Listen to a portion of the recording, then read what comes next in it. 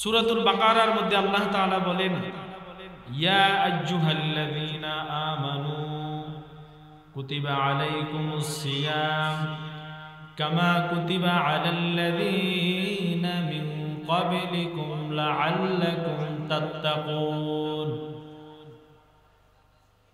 আল্লাহ বলেন, ইয়া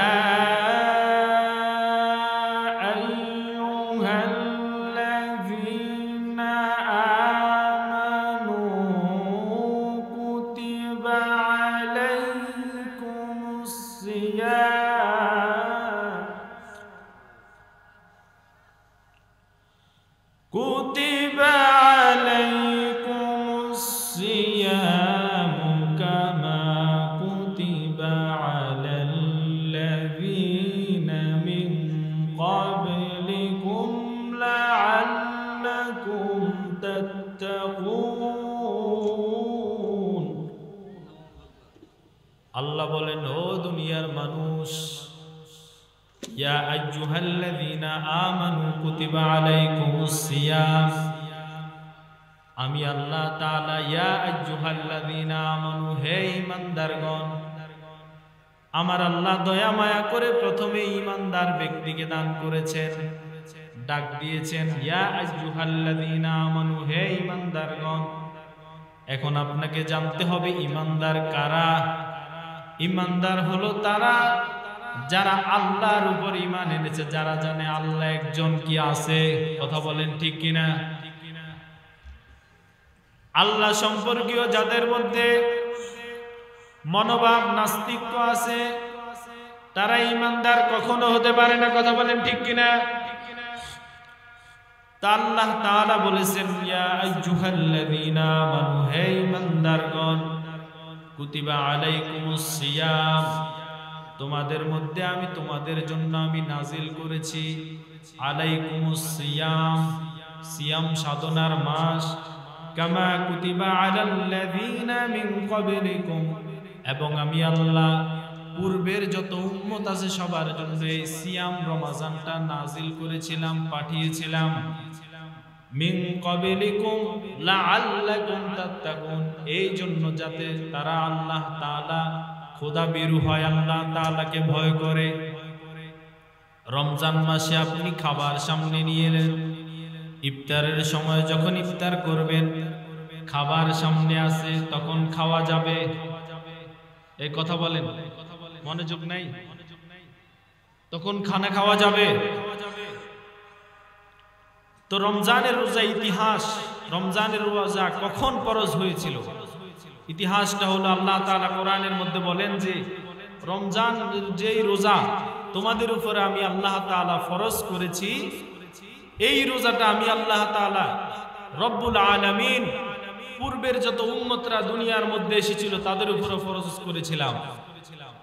এখন ইতিহাস ঢুকলে কোরআনুল কালিমে যখন তাফসির গুলোতে যখন খুললে পাওয়া যায় মুফাসসিরিন কেরাম বলেন যে পূর্বের যত উম্মত ছিল, তারা যখন রমজান মাস আসতো, যখন ধরেন এই মৌসুমে রমজান মাসটা গরমকালে আসলো, তো এই রমজান মাসটা দিন অনেক বড়, শীতকালে কি দিন?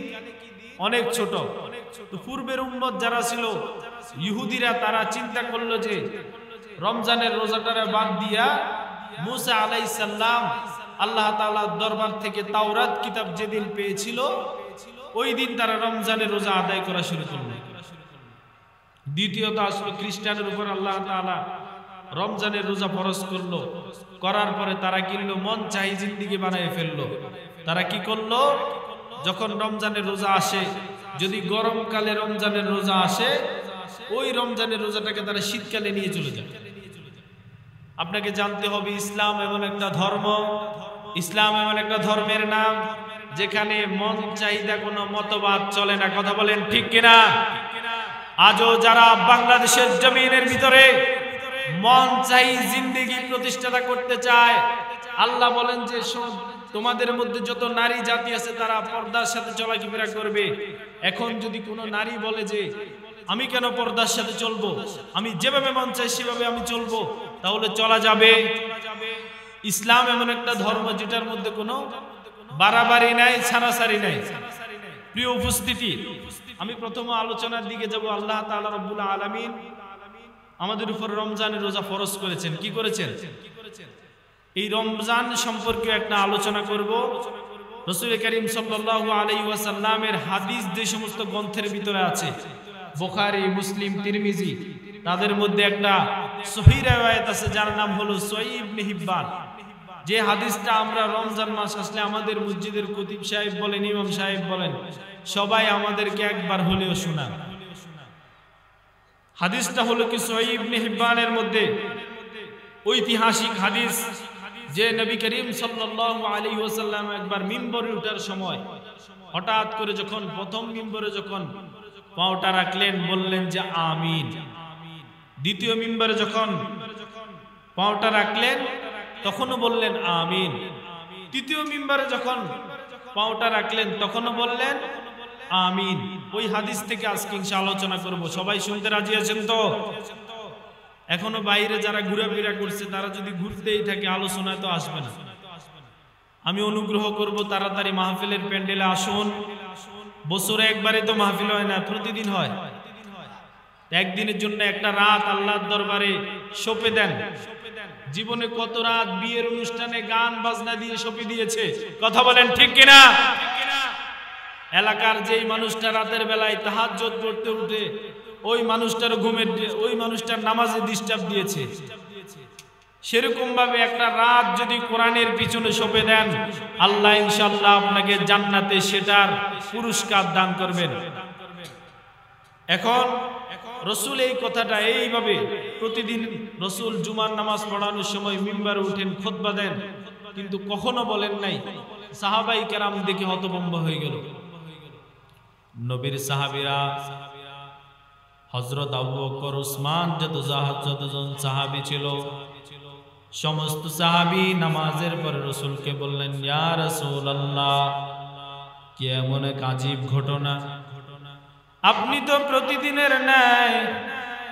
প্রতিদিনের ন্যায় তো আপনি খুতবা দেওয়ার জন্য মিম্বরে উঠেন। কিন্তু আজকে আপনার কি হলো? ওগনবীজি আপনি কেন আজকে এমন কাজটা করলেন? আপনি প্রথম মিম্বার উঠার পর বললেন, আমিন। দ্বিতীয় মিম্বারে যখন উঠলেন তখন বললেন, আমিন। তৃতীয় মিম্বারে উঠার পরে বললেন, আমিন। কারণটা কি? নবীজি বললেন যে সইব নাহিবানের চারশত নয় নাম্বার হাদিস। নবী বলেন, যখন আমি প্রথম মিম্বারে উঠি, তখন আসমান থেকে জিব্রাইলকে আল্লাহ তালা পাঠিয়েছেন। জিব্রাইল বলেন, ওই ব্যক্তি ধ্বংস হোক, যেই রমজান পেয়েও নিজের গুণা মাফ করাতে পারে নাই। কোন ব্যক্তি? আলোচনা তিন ভাগে করব। প্রথম পয়েন্ট মনে রাখুন, কোন ব্যক্তি? ওই ব্যক্তি যে রমজান পেয়েও গুণা মাফ করাতে পারে নাই। দুই নাম্বার হলো, ওই ব্যক্তি যে মা বাপ পেয়েও নিজে জান্নাত কামাই করতে পারে নাই। দুনিয়ার মধ্যে মা বাবা থাকা সত্ত্বেও তারা মা বাবার খ্যাতমত করে নাই। আমি যখন তিন নাম্বার সিঁড়িতে পা দিলাম তখন জিব্রাইল বলল, ওই ব্যক্তির উপর আল্লাহ যেই ব্যক্তিটা নবীর নাম শোনার পরে দুরুজ শরীফ পড়ে নাই, কি পড়ে নাই? সুতরাং আলোচনা কয় ভাগে হবে? এক নাম্বার পয়েন্ট, আল্লাহ তাআলা আমাদের উপর রমজানের এই রোজা আল্লাহ তাআলা ফরজ করেছেন। এই রোজার মানি হলো মানুষ। দীর্ঘ এক বছর থেকে নিয়ে যতগুলো গুণা করেছে, এই গুণাগুলো মাফ করানোর জন্য আল্লাহ তাআলা রমজানের রোজার ব্যবস্থা রেখেছে। এখন রমজান যদি আমাদের সামনে আসে, প্রথমত আল্লাহ তাআলা বলেছেন এই মান্দারগণ কুতিবা সিয়াম, তোমাদের উপরে আমি নাজিল করেছি সিয়াম সাধনার মাস। বৌদ্ধ ধর্মের গুরু দীর্ঘদিন না খেয়ে একটা ধর্ম বানাইছে। না খেয়ে সাধনা করে এক জায়গায় বসেছে। বসার কারণে তার ফায়ের মধ্যে পোকা মাকড়ে সে খাওয়া শুরু করেছে। সাধনা যেটাকে বলা হয়।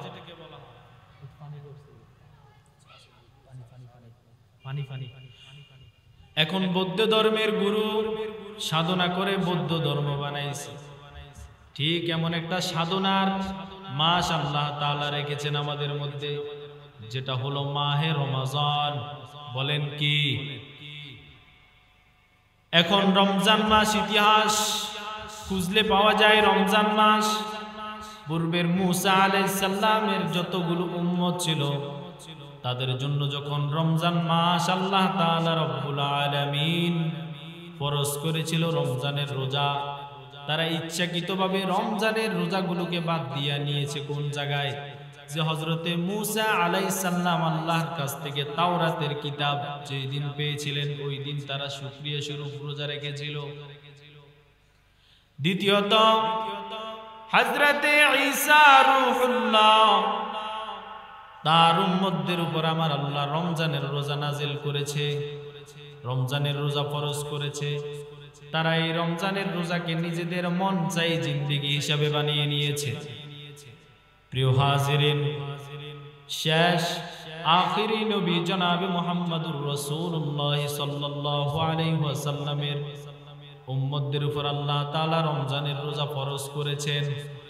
সুতরাং এই রমজানের রোজা কেউ যদি পাওয়ার পরেও যদি নিজেকে মাসুম না বানাইতে পারে রমজানের মধ্যে যদি চায়ের দোকানে গিয়ে যদি পর্দা লাগিয়ে যদি চা খায়, তার দ্বারা কয়টা কাজ হবে না? এক নাম্বার তাকুয়া হাসিল হবে না। দুই নাম্বার কি হবে না? রসুল যেই বদোয়া করেছেন, এই বদোয়ার ভিতরে সেই অংশীদারিত্ব পাবে। আলোচনাটা বুঝে নিবেন। এজন্য কথাটা এজন্য বললাম, আমার নবী প্রথম সিঁড়িতে উঠার পরে বদোয়া দিলেন যে যারা রমজান মাস পেয়ে গুনাহ মাফ করাতে পারে নাই, তাদের জন্য আল্লাহ তাআলার লানত। নবীজি আমিন বলেছেন, এখন চিন্তা করেন, আপনার লানত আর রসুলের লানত কতটুকু পর্যায়ে? তার সীমাটা কতটুকু? সূরাতুল বাকারার মধ্যে আমার আল্লাহ রব্বুল আলামিন একটা আয়াত নাজিল করেছেন সূরাতুল বাকারার 185 নম্বর আয়াত। আল্লাহ বলেন, শাহরু রমাদান আল্লাযী উনজিলা ফীহিল কুরআন। শাহরু রমাদান আমি আল্লাহ তাআলা তোমাদের জন্য রমজানের রোজা পরশ করেছি নাজিল করেছি, অবতীর্ণ করেছি। শাহরু রমাদান ওই রমজান মাসে আমি আল্লাহ তাআলা নাজিল করেছি ফীহিল কুরআন। আমি আল্লাহ তাআলা নাজিল করেছি কোরআন। হুদাল্লিন নাস যা হলো মানুষের জন্য হেদায়েত। হুদাল্লিন নাস কি? এই যে কোরআন শরীফটা, এটা কি জন্য পাঠাইছেন? কোরআন হলো এমন একটা কিতাব, যেই কিতাবের মধ্যে আপনি বিয়ে দিবেন, এই সম্পর্কেও কথা আছে। মেয়ের বিয়ে কেমন ভাবে দিবেন? মাহফিল কীভাবে করবেন? আপনার সমাজ কীভাবে সাজাইবেন? আপনার ঘরে যদি কোনো মানুষ যদি চুরি করতে যায় বা যান ওই চোরটাকে কত কীভাবে শাস্তি দিবেন এটাও কোরআনের মধ্যে আছে। কিন্তু আজকে কোরআনের আইন আমাদের দেশে আছে। আর বলেন আছে। আপনি সমাজ কীভাবে সাজাইবেন? এই সবগুলো কোরআনের মধ্যে আছে। এই জন্য হুদাল্লিন নাসের ব্যাখ্যাটা হলো মুফাসসিরিন কেরাম বলেন, মানুষের জন্য, হেদায়েতের জন্য আল্লাহ কোরআন পাঠাইছেন। ওয়াবাইজিনাতিম মিনাল হুদা ওয়াল ফুরকান। অতএব তোমাদের মধ্যে যেই কোনো ব্যক্তি যদি এই মাসে যদি নিজ অবস্থানে থাকে, মনে করেন আপনি এই রমজান মাসে যদি কোনো জায়গায় যদি সফর না করেন, তাহলে আপনার জন্য আল্লাহ তাআলা তিরিশটা রোজা ফরজ করেছেন।